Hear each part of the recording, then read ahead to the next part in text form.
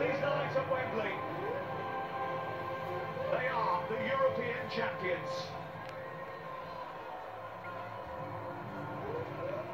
Well, we'll get reaction from both the England and Italian caps when we come back as the ticker tape descends on the celebrations for...